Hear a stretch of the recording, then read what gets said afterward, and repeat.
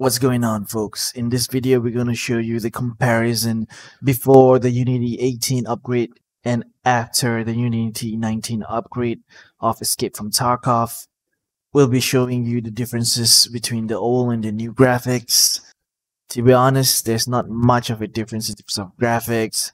However, the FPS is much better on the new Unity engine. You guys can see and test this for yourselves and let us know in the comment section on how you feel about the differences. I'll be leaving some footage of before and after, like the chopper, the tank, the foliage, the darkness and the lights, and I'll be leaving the entire video for you guys to see the before and after in the side-by-side -side comparison mode. So before I leave, I would like to thank you all for watching. Be sure to hit that like and also the bell icon. I'll catch you guys next time.